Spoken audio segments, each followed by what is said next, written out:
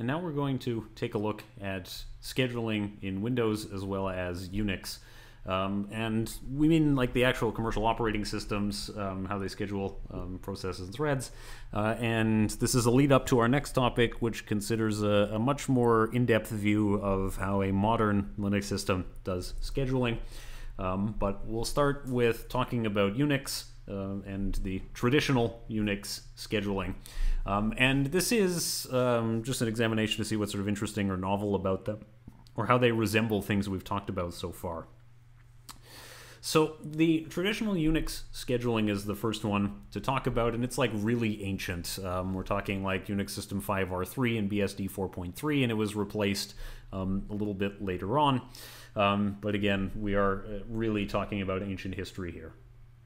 So um, what we are discussing is a multi-level feedback system. Uh, so there are different queues for things of different priority, um, and each of those queues is going to be um, scheduled using round robin, of within it.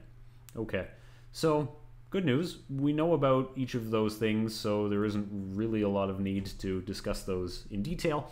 Um, so moving on. It does have time slicing, as as is not surprising considering we talked about round robin. Um, and the original time slice is a very long one full second. Um, again, this sort of highlights how long ago we're talking about. You know, computers uh, used to uh, be able to accomplish much less in a second than they can accomplish now. Um, so one second felt much more like a, a useful chunk of time. Um, and if a process doesn't block or complete within one second, then the timer interrupt uh, triggers preemption, uh, and uh, the scheduler will run and choose the next thing. Uh, and priority for a process is based on the type of the process as well as its execution history. So processor utilization for process J is calculated over an interval i as the formula shown. CPU uh, J of i is the CPU J of i minus 1 divided by 2. Uh, and the priority for the process is calculated by the, perform, uh, by the formula um, B sub j, the pri base priority of the process, plus the CPU value j divided by 2, plus the n sub j, n is the nice value Okay, uh, what's up with, with each of those? So processor utilization has you know, a decay factor um, similar to what we discussed earlier, where it is divided by half for estimating the, the next CPU usage. So it does decay uh, with, with this factor over time. Fair enough. Um, and then um, the priority is calculated using the base priority, uh, the CPU factor, uh, and then the nice value. And the nice value is the Unix way of allowing the user to voluntarily ask a process to be nice to other users. And you can question who actually uses this, um, right? Who, who wants to be nice um, the answer is actually system administrators, right? System administrators, if they notice that a particular process is using a lot of CPU time or is otherwise kind of misbehaving uh, or uh, not uh, taking uh, other processes into account, let's call it that, can be made nice by a system administrator to make it nicer than it otherwise would be. Uh, and so this is part of the reason why um, uh, a nice process has a positive nice value uh, and a not nice process has a negative nice value, uh, and that corresponds to something we discussed earlier uh, around the idea that a process um, that has a higher number for priority in Unix is actually you know, a lower priority to get to the CPU. So yeah, the CPU and N components uh, of the equation uh, are restricted a little bit to prevent a process from migrating outside of its assigned category. Um, and category is based on, um, well, what the operating system thinks about it. Um, and the next slide has some information about priorities um, and what the categories are. To put it in simple terms, um, how does this work in, um, in Unix? Well, the operating system puts its own needs first and tries to make the best use of resources that it can. Okay. Uh, this flies a little bit in the face of something we've talked about earlier, which is you know the goal of the operating system is to help processes run. But well, listen, this is the design decision of Unix.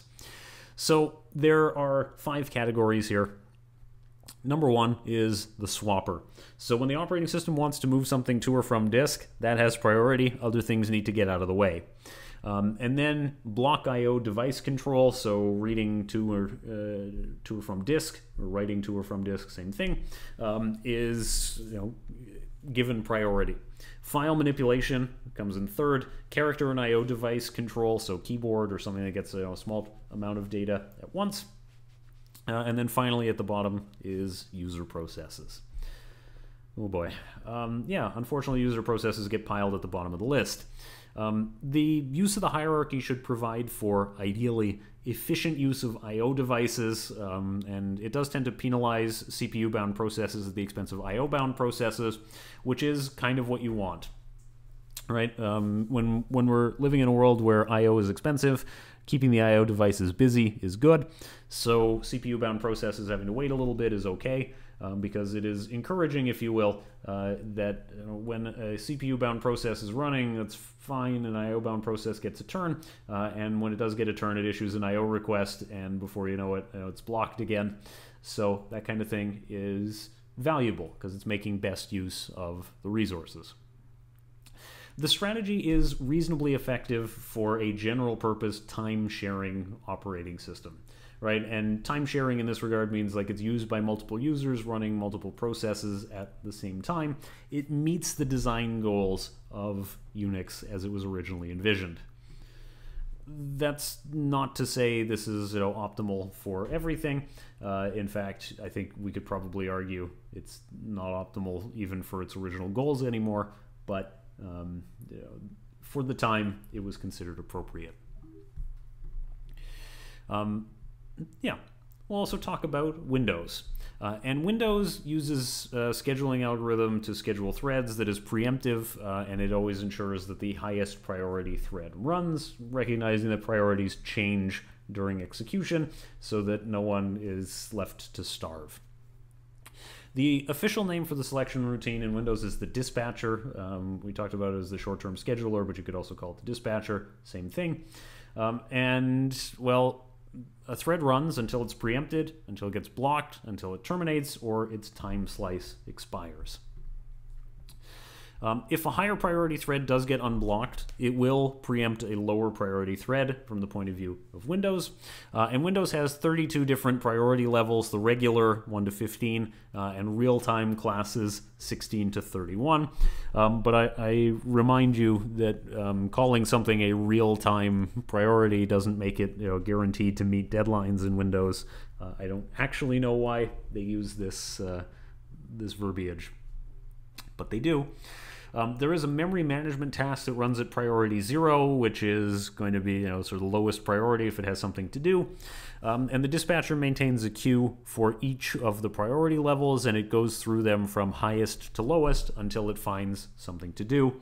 Yes, in Windows, higher numbers means higher priorities. Um, as I said, this kind of thing can give you a headache. Um, because if there are two ways to do something, we will definitely do it uh, in both ways.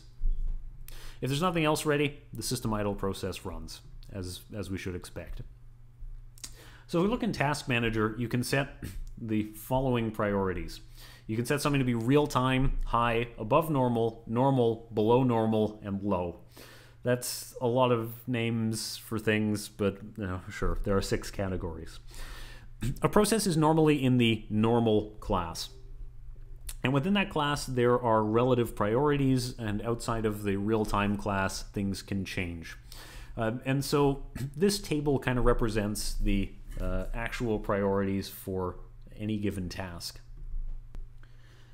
So the things that we get some influence over are the ones at the top. Like we can choose what column we're in, um, and by default something starts as normal. Uh, and the operating system's input is on the row. Is it idle lowest below normal normal above normal highest or time critical? Now as you can see um, it is entirely possible that you know I've said uh, I insist that my um, that my process is you know highest priority um, and you know, putting it in the real-time category doesn't mean it goes before other things. Um, but putting it in the high category doesn't guarantee necessarily that it's going to run you know, before things that are in the um, above normal, normal, below normal categories because, well, Windows can and does override your choices. Because I've said, oh, this is high priority, um, and Windows will say, yeah, but I think it's idle, so it actually gets a priority of one. And you're like, well, that happened. So setting it to real time does have an effect. It does, to some extent, guarantee that it's going to happen um, above and before other things. But as I said, you don't always want this, right? Um, as, as a user, it's definitely possible to choose wrong, and if we do, we're just making our own life more miserable, uh, and we're not actually getting um, we're not actually getting better performance. We're not actually getting like a better outcome. Uh, we're just, just slowing down, you know, the performance of other processes or the system generally. Nevertheless, um, once this has been sort of calculated, it's got a, a priority that's assigned. Um, and if a process is running and it reaches the end of a time slice, the thread is interrupted. Um, and unless it's in the real time category, by reaching the end of the time slice, its priority is lowered uh, to a minimum of the base priority of each class, which we just saw was 1. Um, when a process that was blocked on something, so waiting uh, on something or an I/O, its process priority is temporarily boosted, in which unless it's real time or maxed out already, in which case it can't go up anymore. Um, and the amount of the boost depends on the nature of the event uh, that has occurred. Uh, if it is um, keyboard input, that suggests it's probably a user interactive program, so it gets a bit more of a boost um, than it would if it was like waiting for disk I/O.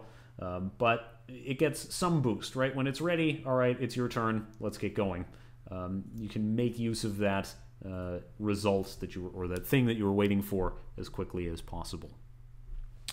Um, interestingly, also, Windows gives priority to whichever process is running in the selected foreground window. So if you have like a, a, an editor that's open and it's the one that you have uh, currently on top in the UI, um, that's interesting right? Um, I don't mean this in the sense of like foreground versus background processes, where I mean like user interactive versus not. Um, I mean in the sense of like which of the user interactive processes you currently have focused in the UI.